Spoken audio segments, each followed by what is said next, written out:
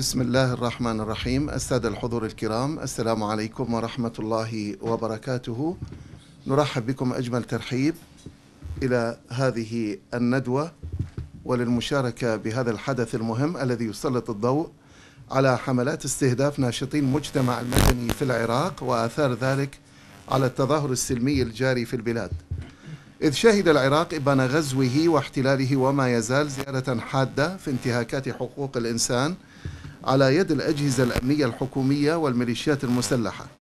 أبرز هذه الانتهاكات القتل المباشر والتغييب القسري والاعتقال غير القانوني والتعذيب الوحشي والقمع الممنهج لحرية الرأي والتعبير واستهداف الرموز كما حصل وما زال يحصل للمتظاهرين السلميين في كل انتفاضة شعبية مناهضة لحكومات الاحتلال في العراق منذ عام 2003 ولغاية اليوم.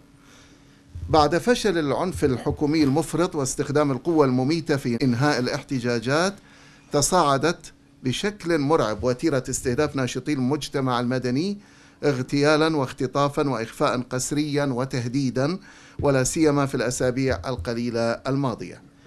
تأتي هذه الندوة ضمن الجهود التي تبذلها هيئة علماء المسلمين الموقرة في سبيل تشخيص الخلل الأساس في هذا الموضوع المهم للغاية إذ أن ممارسة الانتهاكات من قبل قوات هي بالأساس مكلفة بحماية السكان يؤكد حقيقة الحكومة الفاشلة والحكم المسلوب من قبل جهات لا تمثل الشعب العراقي كما هو الحال مع تسلط الميليشيات الموالية لإيران على مصدر القرار في العراق.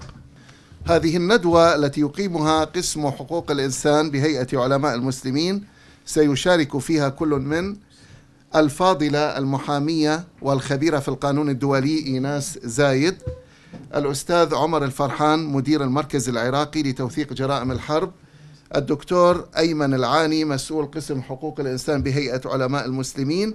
أرحب بهم أجمل ترحيب وأدعوهم إلى الالتزام بالوقت المخصص لهم وهو 12 دقيقة لكل متحدث. نبدأ مع الفاضلة المحامية والخبيرة في القانون الدولي إيناس زايد. لتحدثنا في ورقتها عن حرية الرأي والتعبير وآليات المحاسبة الدولية وموجبات الحماية الأممية لحالات الانتهاك. فلتتفضل مشكورة. شكرا جزيلا دكتور. شكرا جزيلا ومساء الخير لكم آه، الحضور الكريم وشكرا لقسم حقوق الإنسان في هيئة العلماء المسلمين على عقد هذه الندوة المهمة والموضوع الهام جدا آه، الذي نشهده اليوم. الانتهاكات ضد النشطاء في العراق واحدة من الانتهاكات والملفات المهمة جدا التي تضاف إلى ملفات انتهاكات حقوق الإنسان في العراق. هناك العديد من الملفات مثل ملفات المعتقلين النازحين وأيضا آه، ملف آه، عدم وجود متطلبات الحياة الكريمة في بعض المدن. ولكن اليوم هناك حاجة ملحة للحديث وفتح ملف الناشطين في العراق. آه، بعد آه، التظاهرات التي انطلقت منذ آه، الأول من أكتوبر والتي راح ضحيتها العديد من النشطاء في الواقع. يعني طبعا آه، كنشطاء في مجال حقوق الإنسان وكمراقبين لما يحدث على أرض العراق. آه، يعني كان هناك تعامل آه، من قبل الحكومة العراقية في بعض الانتهاكات التي طالت النشطاء دون المتوقع. يعني كان هناك توقع بأن يكون هناك يعني تعامل أفضل في في هذه الملفات. على العكس تماما وجدنا أن هناك يعني تراخي في محاسبة الأشخاص الذين قاموا قاموا بانتهاكات على آه، النشطاء والمتظاهرين. بالإضافة إلى ذلك كان هناك مساهمة في تعتيم ويعني آه، الإخفاء لنقل بعض هذه الانتهاكات من خلال قطع الإنترنت ووسائل الاتصال التي يعني حجبت المعلومة عن العديد من المنظمات الدولية ولم نستطع ان نوثق المزيد من الأرقام ولكن الحقيقة دائما يعني تأبى إلى أن تظهر وهناك العديد من المنظمات التي تقوم بالرصد والتوثيق مشكورة وهي التي يعني توصل معلومات التي تحدث والانتهاكات التي تحدث بحق الناشطين. يعني إذا أردنا أن نقول عن أبرز تلك الانتهاكات فهي يعني طالت آه، العديد من آه، المسائل آه، ابتداء من موضوع الاختطاف والاختفاء القسري لبعض النشطاء مرورا بالاعتقال وحجز الحرية أيضا التعذيب من سواء من قبل القوات الأمنية التابعة للحكومة أو من قبل الميليشيات المسلحة أيضا التي أعطيت صلاحية. أن أن تمارس آه، يعني السلطة على أرض آه، العراق. ويعني هناك استخدام مفرط للقوة في فض التظاهرات والإعتصامات التي كانوا ينفذها هؤلاء النشطاء. وصولا إلى القتل. القتل العمد وكان هناك يعني رقم مؤخرا ظهر وهو يعني تم تم حصره وهو 29 شخص تم اغتياله. منذ أول من أكتوبر لغاية اللحظة وهناك القصص المأساوية الكثيرة يعني هناك آه، يوم الجمعة قرأنا بخصوص اغتيال آه، أخ ناشط آه، اسمه آه، علي العصمي في الناصرية. يعني كان كانت مشهد قتله يعني في وضح النهار وتم إفراغ الرصاصات في جسده دون أن يكون هناك أي يعني مسوغ أو مبرر قانوني. لذلك لذلك فنعم هناك من القصص المأساوية التي تحدث للناشطين والتي يعني يتم توثيقها يوميا. لا يكاد يمر يوم دون أن يكون هناك انتهاك مباشر يقع على هؤلاء الناشطين. طيب إحنا يعني آه، لنقل إنه ما هي الضمانات القانونية لحماية هؤلاء الناشطين؟ الناشطين هؤلاء يعني لما آه، آه، خرجوا للشارع كان هناك مطلب بالإصلاح، كان هناك مطلب بأن يتم تحسين الظروف المأساوية التي يعيشونها، التعبير عن رأيهم بشكل عام سواء كانت آه، يعني هذه ال ال أو هذا الشكل من أشكال التعبير بأشكال المظاهرات أو بالشعارات المرفوعة أو حتى بالكتابة عبر مواقع التواصل الاجتماعي. هذه كلها أشكال آه، أو أشكال متعددة من آه، ممارسة حق وحرية الرأي والتعبير. حرية الرأي والتعبير كفلها الدستور العراقي نفسه. في المادة 38 من آه، الدستور آه، كفل أن آه، يمارس المواطن العراقي حقه في حرية الرأي والتعبير سواء كان بالكتابة بالنشر بالإعلام يعني أيضا كفل في ذات المادة حرية التظاهر والتجمع السلمي. فهذه يعني ضمانة نحن كقانونيين نتمسك فيها بالدرجة الأولى لأنه الدستور هو القانون الأساسي في الدولة وهو الذي يرسل القاعدة العامة في الدولة ولا يجوز لقانون أن يخالف هذا الدستور. آه، لما نحكي اليوم عن آه، آه، قيام بعض القوات الحكومية في فض هذه التظاهرات أو في الاعتداء على هؤلاء المتظاهرين فنحن نتحدث عن مخالفة صريحة وواضحة لهذه المادة من الدستور. وإذا أردنا أن نقول بأن العراق اليوم دولة قانون فهذا الأمر يعتبر انتهاك للدستور. لذلك وهي وهي دولة قانون. لذلك فهؤلاء الأشخاص يعتبروا يعني بالمفهوم القانوني آه، منتهكين أو مجرمين آه، خاصة عندما نتحدث عن بعض الانتهاكات التي آه، طالت أو وصلت إلى حد القتل وهو أيضا القانون العراقي قانون العقوبات العراقي أيضا يجرب فعل القتل. أما بخصوص النصوص الدولية فهي كثيرة. النصوص الدولية في الاتفاقيات الإعلان العالمي لحقوق الإنسان كفل حرية الرأي والتعبير، العهد الدولي الخاص بالحقوق المدنية والسياسية أيضا في المادة 19 كفل حرية الرأي والتعبير؟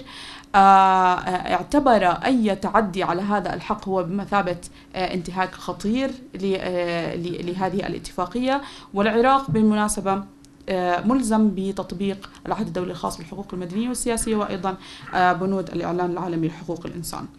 عدا عن ذلك كله فتصنيفنا نحن كحقوقيين لما يجري على أرض العراق هو نزاع مسلح داخلي. النزاع المسلح يجعل من اتفاقيات جنيف الأربعة تنطبق على أيضا ما يحدث في العراق بالإضافة إلى آه، نظام روما الأساسي المشكل للمحكمة الجنائية الدولية والذي ركز في مادة آه، في المادة الثامنة منه على مسؤولية خطيرة ومهمة جدا وهي مسؤولية القادة العسكريين على الأفعال والأوامر التي يعطونها للجنود في حال أنه كان هناك آه، طلب من قادة عسكريين بتوجيه السلاح أو الضرب بالرصاص الحي للمتظاهرين فهؤلاء الأشخاص أو هؤلاء القادة العسكريين مسؤولون بشكل مباشر عن الجرائم التي ارتكبت بحق هؤلاء الناشطين. وهم بالمناسبة يخضعون في هذه الحالة أو تندرج هذه الجريمة تحت جريمة الجرائم ضد الإنسانية التي تدخل في اختصاص المحكمة الجنائية الدولية. تمام. إذا الضمانات القانونية موجودة سواء داخليا أو وطنيا لنقل في العراق أو أو دوليا. والنصوص الدولية موجودة وهي آه، يعني تفرع عنها آليات من أجل المحاسبة والمراقبة. ولكن نحن دائما نقول بأن آليات المحاسبة والرقابة على آه، تطبيق هذه القوانين يأتي من داخل العراق. يعني القضاء الوطني اليوم في العراق له دور مهم جدا في محاسبة هؤلاء المرتكبين. يعني عندما نتحدث عن 29 حالة اغتيال مباشر أشخاص آه، تم قتلهم بوضح النهار ولم يتم فتح تحقيق واحد من قبل الحكومة العراقية في هذه الجرائم. ولم يتم إلقاء القبض على جاني واحد من هؤلاء الجناة. يعني هذا الأمر يعتبر بالوضع الطبيعي لأي دولة عندما نتحدث عن قوة أمنية فيجب أن تتحرك من أجل إيجاد هؤلاء الجناة. ف وإحالتهم إلى القضاء. فالقضاء الوطني اليوم هو المسؤول الأول عن محاسبة هؤلاء المجرمين أو مرتكبي آه، تلك الجرائم. ولكن في حال أنه ثبت عدم إنتاجية أو عدم آه، قيام القضاء الوطني بمهمته في المحاسبة في هذه الحالة نتحدث عن آليات قانونية وضعت من أجل محاسبة هؤلاء المجرمين مثل ما ذكرت المحكمة الجنائية الدولية للمعاقبة على جرائم الحرب وغيرها من أيضا اللجان المتفرعة عن آه، مثلا مثل لجنة آه، حرية اللجنة الخاصة بكفالة أو بضمان حق الرأي والتعبير أو حرية الرأي والتعبير المتفرعة عن العهد الدولي الخاص بالحقوق المدنية والسياسية أيضا هي معنية بتلقي الشكاوى حول انتهاكات هذه المادة. في النهاية إذا أردنا أن نقول عن موجبات التدخل موجبات التدخل في آه، الحالة العراقية. فنحن نتحدث عن مسؤولية اليوم دولية وتقع بشكل أكبر على الأمم المتحدة. لأن الأمم المتحدة اليوم يعني بوصفها الذراع آه، يعني أو بالأحرى الجهة المعنية بحفظ السلم والأمن الدوليين. فنحن نقول بأنها هي المعنية اليوم بتحقيق السلم والأمن في العراق. ما يحدث في العراق اليوم لا يمكن الصمت عنه لا يمكن السكوت عنه.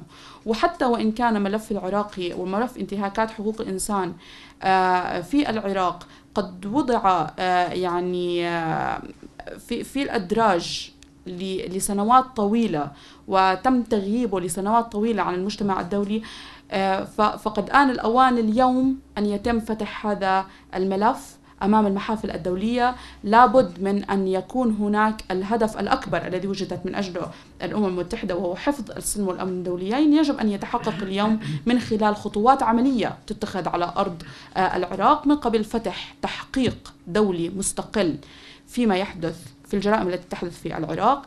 إحالة كل شخص من هذه من من الأشخاص المتورطين إلى العدالة سواء كان القضاء الوطني أو القضاء الدولي وأيضا اتخاذ إجراءات تضغط على الحكومة العراقية من أجل إطلاق سراح كافة المعتقلين الذين تم آه، اعتقالهم بمناسبة مشاركتهم بالتظاهرات بالإضافة إلى الوقف الفوري لأي أعمال قمع وأي أعمال من شأنها أن تنتهك حق آه، من حقوق المتظاهرين خاصة فيما يتعلق بحقهم بالتظاهر السلمي والتجمع آه، من أجل المطالبة بحقوقهم.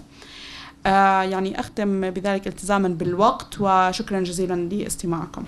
شكرا للمحامية والخبيرة في القانون الدولي إيناس زايد على هذه المعلومات القيمة التي تبين المسؤولية الدولية في حال انتهاك حرية الرأي والتعبير والتي يعد التظاهر السلمي من أبرز تلك المعالم كما يحصل الآن في العراق لا سيما أنه عضو مؤسس في الأمم المتحدة.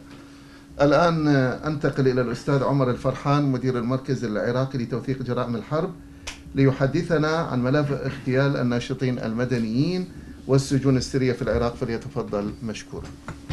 السلام عليكم ورحمة الله وبركاته.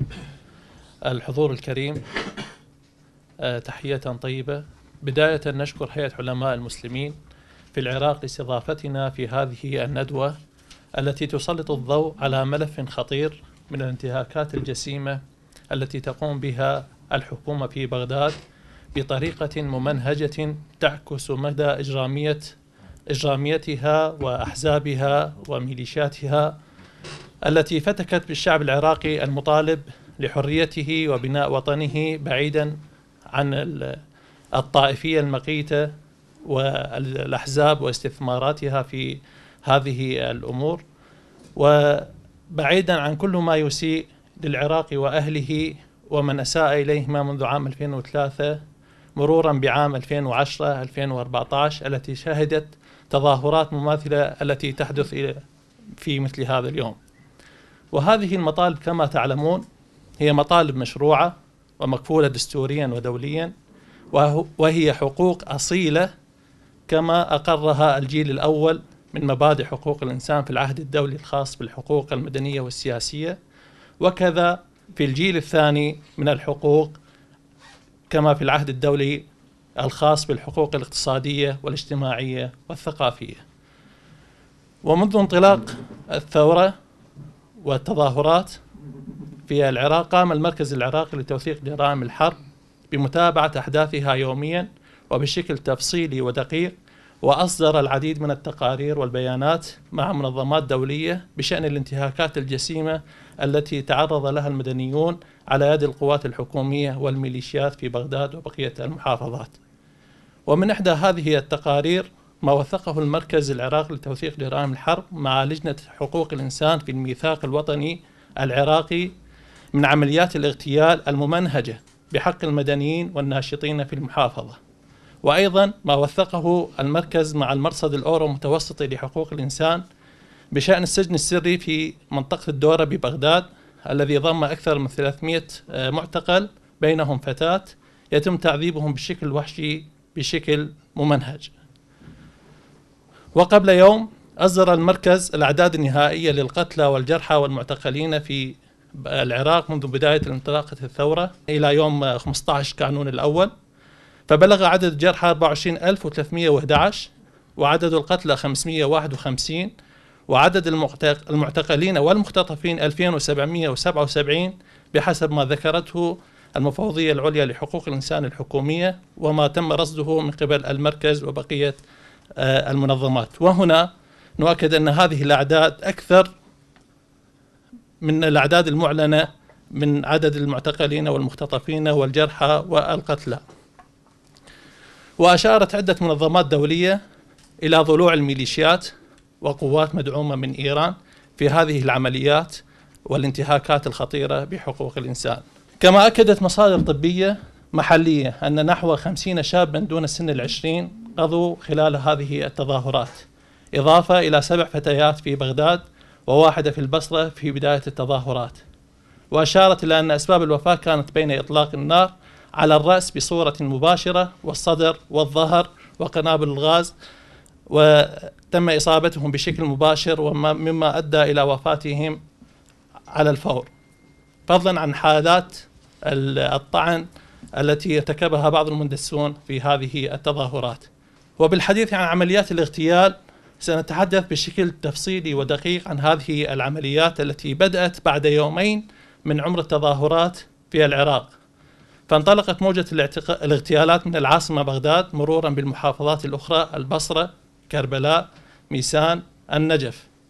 وبلغت توجهها في محافظتي البصرة وميسان اللتين سجلتا أعلى معدلات الاغتيال في الشهرين الماضيين.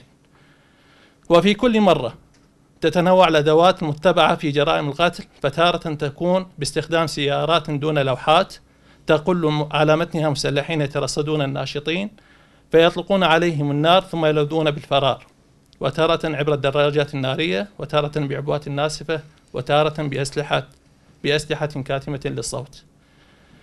وخلال الفترة من 1 تشرين الأول ولغاية 20 كانون الأول رصد المرصد العراقي لتوثيق جرائم الحرب أكثر من 27 حالة اغتيال في بغداد وبقية المحافظات. فضلا عن إصابة ثمانية آخرين من هذه العمليات. في خمس محافظات بمعدل ثلاثة عمليات كل أسبوع تقريبا حيث تم استهداف الناشطين بشكل مباشر ومن منطقة قريبة ولم تعلن السلطات الحكومية حتى الآن عن الجهة المسؤولة ولم تفتح تحقيقا بذلك. وعلى إثر تكرار عمليات الاغتيال بدأ الناشطون بأخذ التدابير والاحتياطات والاحترازات والإرشادات لحماية أنفسهم.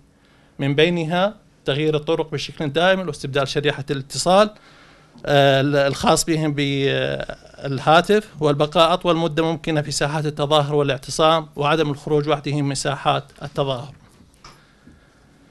ويعد الناشطون والمتظاهرون حادثة مجزرة السنك عملية إعدام واغتيال جماعي للمتظاهرين التي قامت بها الميليشيات المعروفة بتنفيذ هذه العمليات التي اقتحموا ساحة الوثبة والخلاني مما أسفر إلى قتل من أكثر من خمسين مدنيا آه، حينما آه، تعرض لهم أكثر من مئة مسلح من الميليشيات إلى هذه الساحات والإصابات أكثر من 150 مدني في معلومات آه، للمركز العراقي تحدث مصدر أمني في وقت سابق أن أغلب عمليات الاغتيال التي جرت في بغداد وبقية المحافظات ضد الناشطين كانت تجري بعد خروج الضحية من مكان التظاهر مثل ساحة التحرير ودوار التربية في آه، كربلاء.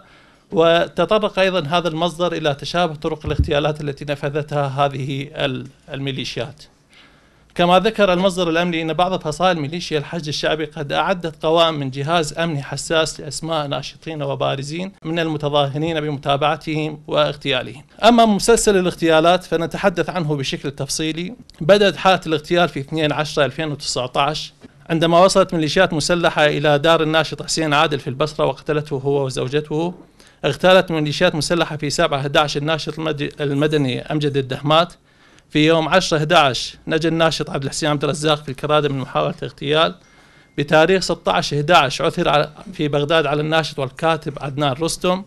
في 21 11 نجا الناشط في اعتصامات جامعة البصرة حسين المياحي. في يوم 23 11 نجا الناشط جواد الحريشاوي.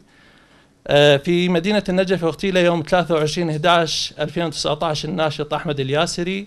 يوم 26 11 2019 استهدفت ميليشيات مسلحة الناشط والشيخ حيدر عبد الأمير المالكي. يوم 11 12 اغتالت الميليشيات المسلحه الناشط حيدر فاضل بدر, بدر الحسان. في يوم 2 12 اغتيل الناشط المحامي محمد عاصم الشمري. في يوم 8 12 اغتيل الناشط فاهم الطائي.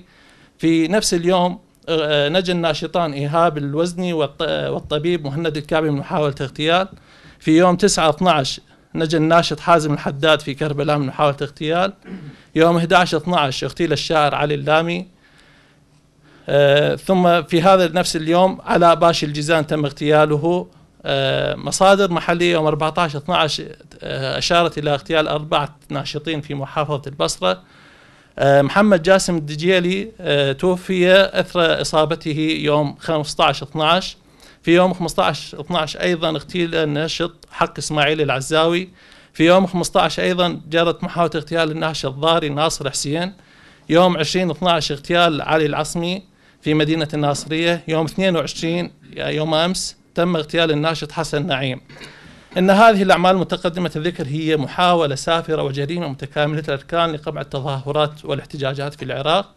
فإن عدم قيام بغداد باتخاذ التدابير اللازمة والضرورية منذ بداية التظاهرات لحماية المدنيين وعدم محاسبة القتلة والمجرمين سهل الكثير من عمليات الاغتيال وهو دليل على أن الحكومة على علم بما يجري وهي متواطئة مع الميليشيات. وختاما شكرا لحسن الإصغاء. نشكر الأستاذ عمر الفرحان مدير المركز العراقي لتوثيق جرائم الحرب على محاضرته. التي حدثنا فيها عن ملف اغتيال الناشطين المدنيين والسجون السرية في العراق. الآن مع الدكتور أيمن العاني مسؤول قسم حقوق الإنسان في هيئة علماء المسلمين ليحدثنا عن جهود القسم في رصد وتوثيق ما تعرض له الناشطون المدنيون خلال ثورة تشرين العراقية للمدة من الأول من تشرين أول أكتوبر الماضي وحتى العشرين من كانون أول الجاري فليتفضل مشكورا. بسم الله الرحمن الرحيم. شكرا جزيلا على هذا الحضور الكريم وعلى تجشم عناء الوصول.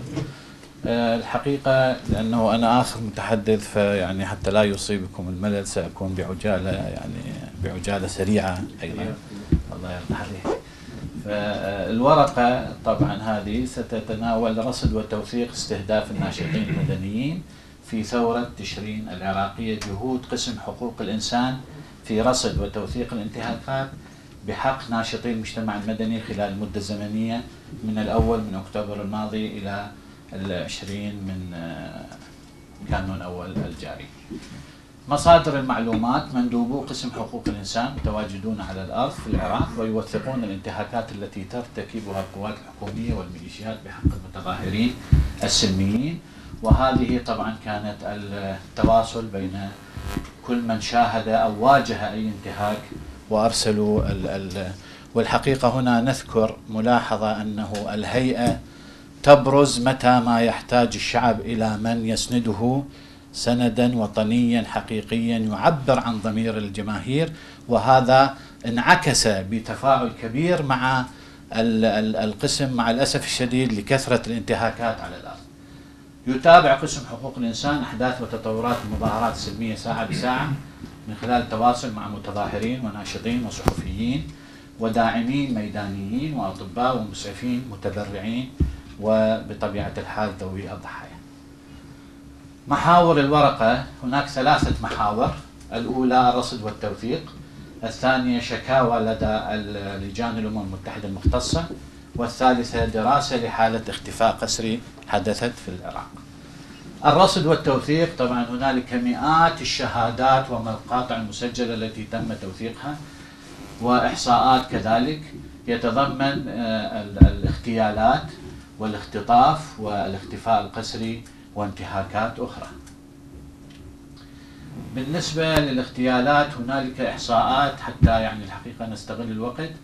بحسب الجنس هناك عدد حالات الاغتيال التي وثقها قسم حقوق الإنسان 69 حالة آه، منها ست إناث وثلاثة وستون ذكرا.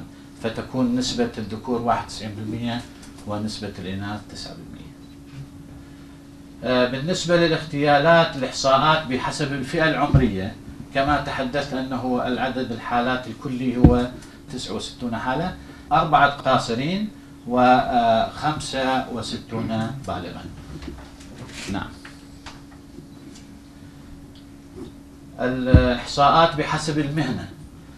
آه، ثلاثة محامين ثلاثة أطباء ثلاثة أساتذة أكاديميين ثلاثة إعلاميين ومساعد طبي وستة عشر آه، داعما ميدانيا إضافة إلى إمام مسجد وشيخ عشيرة. إحنا طبعا نتحدث عن استهداف الناشطين وليس المتظاهرين. آه، أساليب الاغتيال تنوعت من قتل مباشر إما بالرصاص أو بالكاتم الدهس أبواط لاصقة طعن بالسكين والخنق. هناك ملاحظة جميع المغدورين الذين تم اختطافهم قبل اغتيالهم تعرضوا للتعذيب أو التشويه أو كليهما قبل أن يقوم المرتكبون بقتلهم ورمي جثثهم على قارعة الطريق. طبعا هنا التأكيد على أن حتى التشويه حدث قبل الموت. آه، تشويه وحشي وهذا ما أثبتته التقارير الطب العدلي. المختطفون والمغيبون هذا المحور. الإحصاءات حقيقة بحسب الجنس كذلك العدد الكلي للحالات. وثق قسم حقوق الإنسان 117 حالة. منها عشر إناث ومئة وسبعة ذكور. الإحصاء بحسب الفئة العمرية آه، عشرون قاصرا وسبعة وتسعين وتسعون بالغا ضمن هذه الحالات التي تم اختلافها كذلك الإحصاء بالنسبة للمختطفين والمغيبين بحسب المهنة أربعة محامين ثلاثة إعلاميين أكاديميان وطبيب.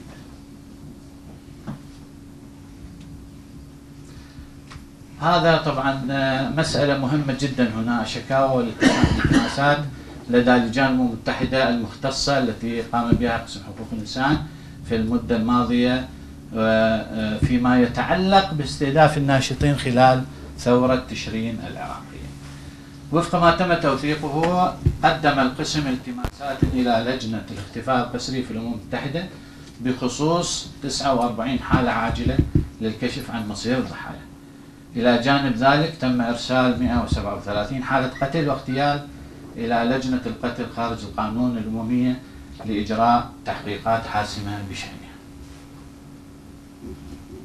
الشكاوى والالتماسات طبعا هنالك مآل الحالات. ما هي مآل الحالات؟ بالنسبة للحالات العاجلة للجنة الاختفاء القسري خمسة من مجموع 49 حالة تم الإفراج عنهم. 13 حالة تم الرد بشأنهم من قبل الحكومة و31 حالة لم يتم الرد بشأنهم.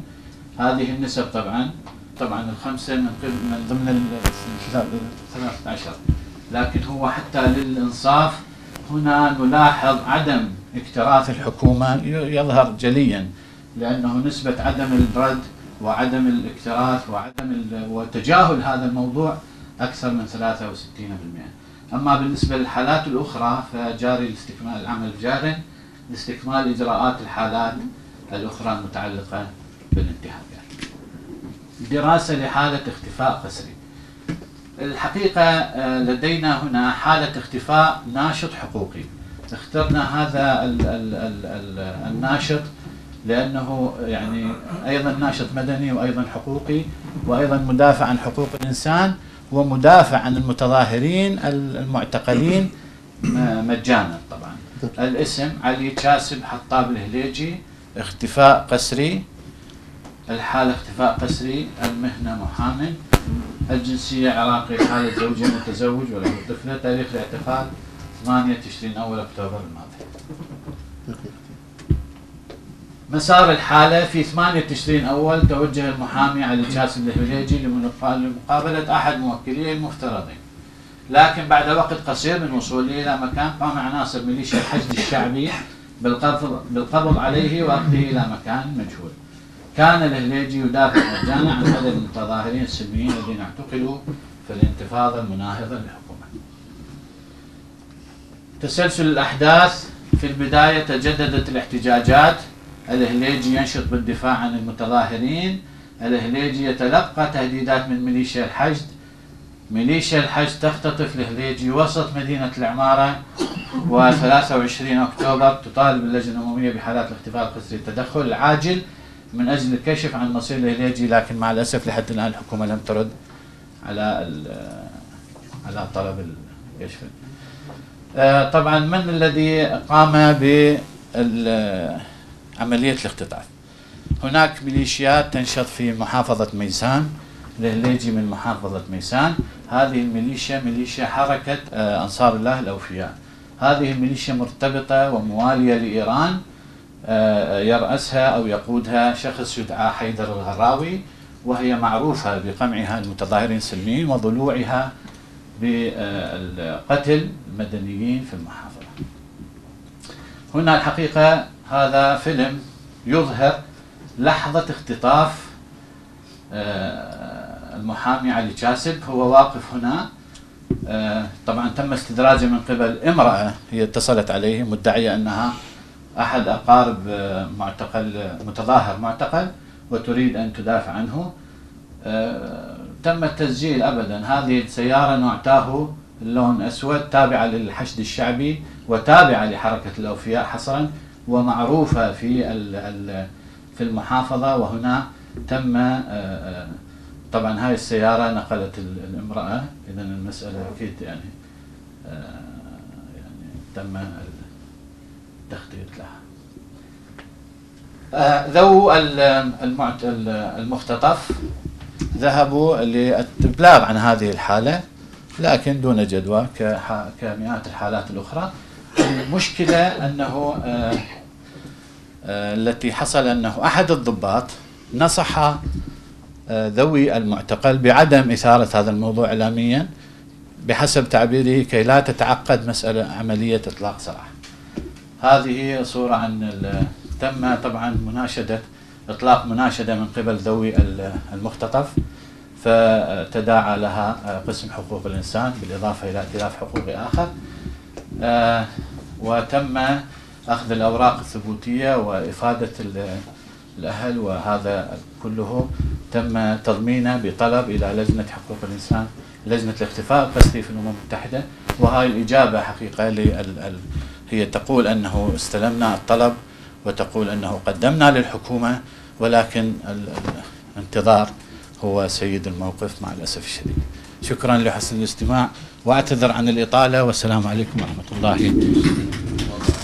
شكرا للدكتور أيمن العاني مسؤول قسم حقوق الإنسان بهيئة علماء المسلمين على هذا الاستعراض الموجز لجهود قسم حقوق الإنسان بالهيئة بشأن متابعة الأحداث الجارية ساعة بساعة والتواصل عبر المندوبين المتواجدين على الأرض مع مختلف الفئات المجتمعية المشاركة في التظاهرات السلمية المتواصلة في العراق والعمل على توثيق حقوق المتضررين وجرائم المرتكبين والنيابة عن المظلومين والمقهورين في إيصال صوتهم إلى العالم إيمانا من العاملين بعدم تساقط هذه الجرائم بالتقادم.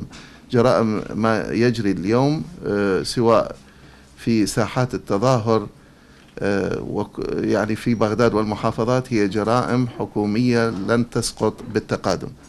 الآن نفتح باب الأسئلة والمداخلات على أن تكون في صلب الموضوع وبحدود دقيقة واحدة لكل متسائل نعم الأستاذ عبد القادر النايل. بالبدء شكرا للمحاضرين على هذه المعلومات القيمة. وبالتالي حقيقة كلامي هو رد ومداخلة على الأستاذة إيناس. حقيقة يعني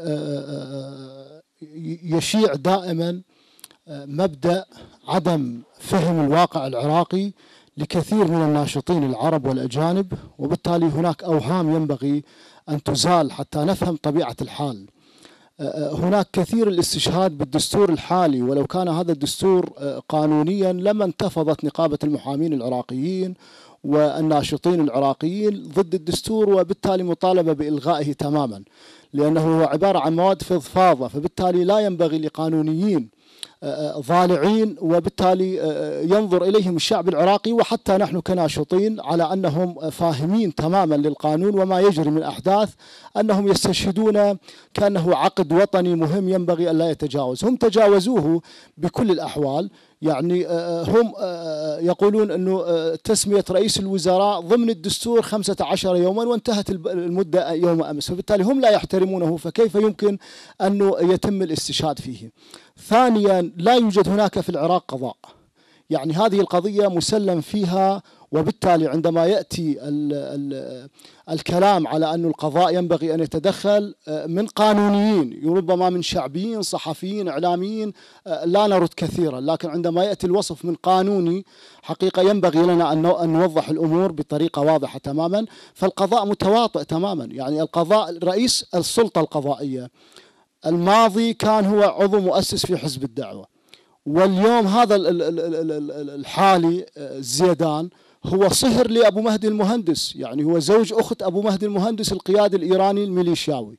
فبالتالي بالتالي يعني هذه مداخلة ثم يأتي السؤال. بالتالي لا يمكن أن نستشهد بقضاء غيب ادعاءه العام. يعني اليوم الجرائم المفروض الادعاء العام يقيم دعاوى هو لم يقمها بالتالي هذا هناك تواطؤ واضح تماما من القضاء الذين يشرعنون المخالفات القانونية لكل هذه الجرائم بطريقة واضحة تماما. شكرا شكرا أستاذ عبد القادر. تفضل أستاذ عبد الرحيم الكبيسي بسم الله الرحمن الرحيم. تحياتي للجميع وللأعزاء الذين تقدموا بأوراقهم.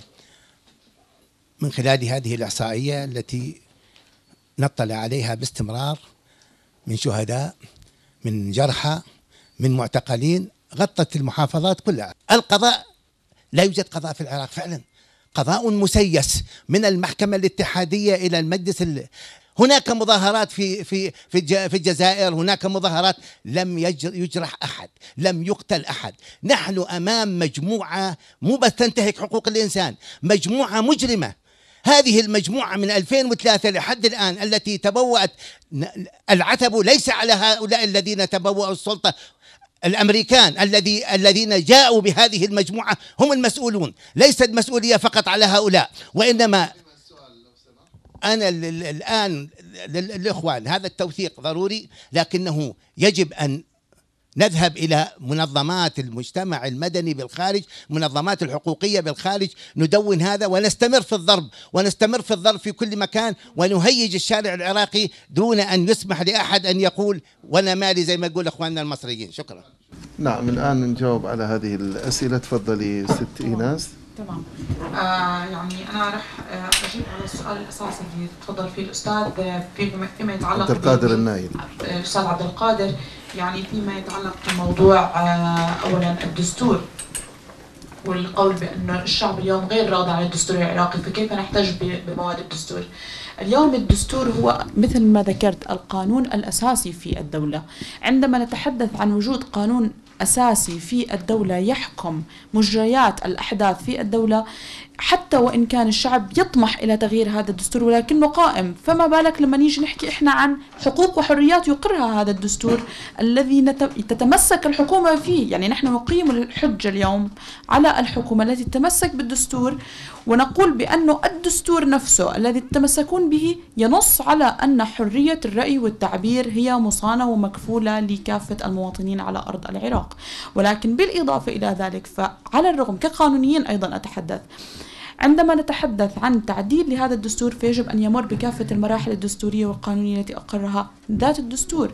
وإلا سوف يكون هناك فراغ يعني يعني لا يوجد دولة بدون دستور. يعني إذا إذا أردنا أن نقول. هذا فيما يتعلق في موضوع الدستور. أما فيما يتعلق في موضوع القضاء. يعني القضاء هو الركيزة الأساسية في أي دولة التي تضمن عدم استيفاء الحق بالذات. عندما نقول بأن القضاء ال- العراقي اليوم مسيس غير موجود آه، وننكر وجود سلطة قضائية فنحن نقول للناس يعني روحوا استوفوا حقوقكم بذاتكم. كل حدا عنده ثأر يروح يستوفيه بذاته. لذلك كقانونيا نحن نتمسك بوجود السلطة القضائية. أي نعم هناك انتهاكات في السلطة القضائية هناك عدم آه، استقلالية عدم حياد ولكن هاي كلها انتهاكات على السلطة القضائية. ما بيجوز أنه إحنا نشرعن عدم وجود السلطة القضائية بناء على هاي الانتهاكات. حتى ضمانات المحاكمة العادلة اليوم من يعني يعني أغلبها مش موجود إذا مش كلها. وبالتالي إحنا ما بنقدر إنه إحنا نتمسك في الاستثناء ونغلبه على الأصل، الأصل هو وجود سلطة قضائية ويجب أن تكون ضليعة بدورها بالمحاسبة والرقابة، إذا قصرت فهي محاسبة أيضا. آه يعني من من وجهة نظري أنا القانونية يعني يعني شيء آه جدا مدمر راح يكون للعراق إذا قلنا بأنه السلطة القضائية اليوم موجودة على الرغم من تحفظات الجميع والأستاذ أيضا تفضل بمو بموضوع إنه اليوم القضاء مسيس.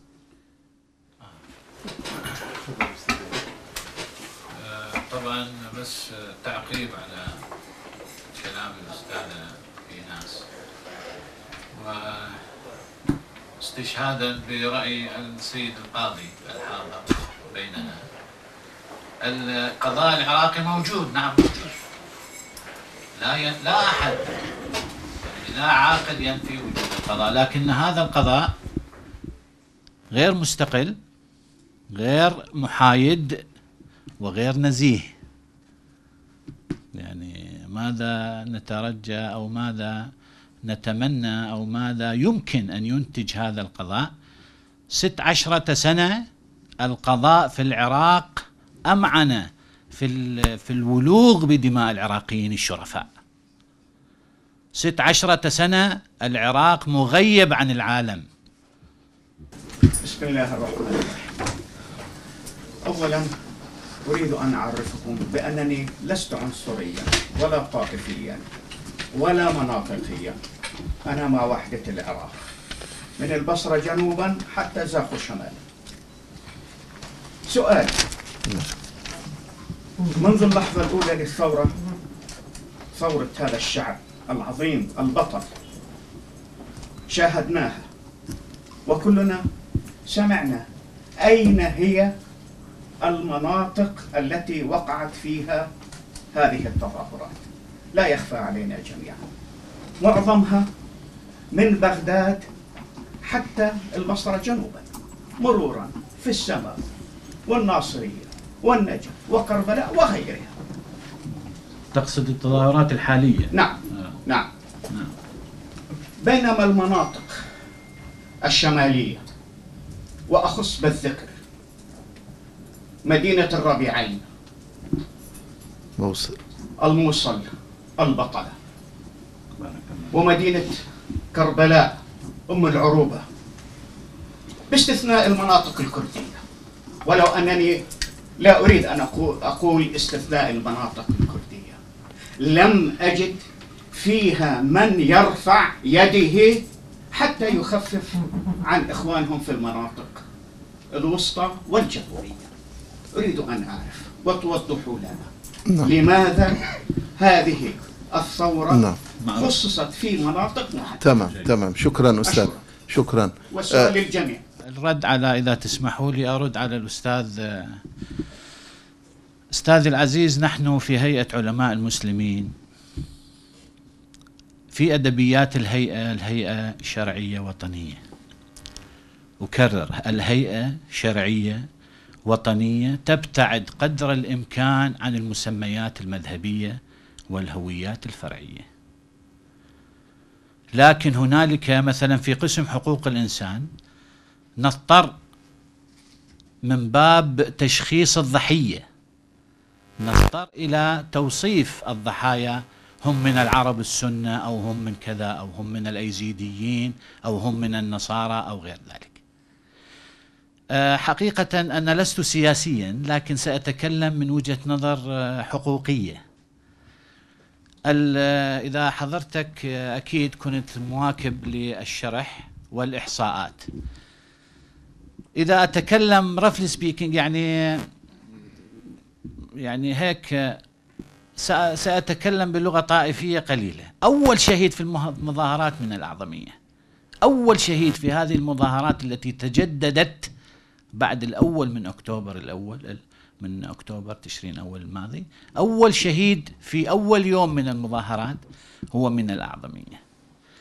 في الانتهاكات التي نرصدها حقيقة يعني يتصدى لها أبناء المناطق المنكوبة محافظات منكوبة بفعل العمليات العسكرية الحكومية التي شارك فيها الكثير من الدول والتحالف الدولي بقيادة الولايات المتحدة بحجة محاربة الإرهاب فتركها خرابا يبابا ملايين النازحين توقف مظاهر الحياة بشكل مرعب ومع ذلك آه، إذا تحب يعني تزورنا في القسم أو تنطيني وسيلة للتواصل أرسل لك عشرات المقاطع التي تثبت مشاركة المناطق والمحافظات المنكوبة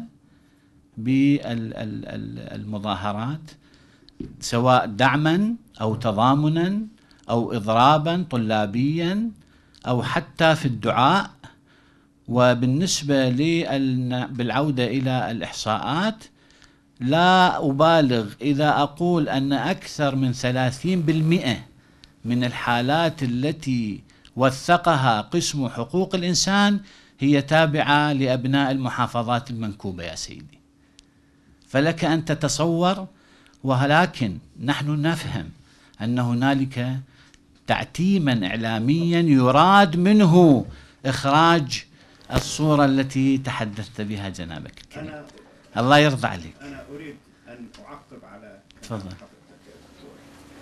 حتى في المستقبل لا يكون هناك انعكاس سياسي على هذه المناطق. لا سيدي، ويقولون بأن ال- ال- الثورة هي ثورة أهل الجنوب وإحنا هذا هو ونحن أبناء العراق. وأنا أنا إن خرج من من من سبق وأن خرجنا نعم. لا أحد يقول لا أحد يقول وأنا بنفسي أنا لست عنصريا ولا آه. طائفيا. أنا مع وحدة العراق. وهذا ما من اتفقنا الشمال إلى عليه الجنوب ومن الجنوب إلى الشمال. وهذا ما اتفقنا هذا عليه. هو الله يرضى عليك. يعني ون- ونحن أيضا مع وحدة العراق أستاذ أشكرك هل من تساؤل آخر قبل الختام؟ آه، في ختام هذه الندوة التي عقدها قسم حقوق الإنسان بهيئة علماء المسلمين لتوثيق جرائم آه، التي عملتها السلطات الحكومية والميليشيات المساندة لها ضد المتظاهرين السلميين في ثورة تشرين. أشكر لكم حضوركم الكريم على أمل أن نلتقي بكم في مناسبات مقبلة. والسلام عليكم جميعا ورحمة الله وبركاته. وعليكم السلام.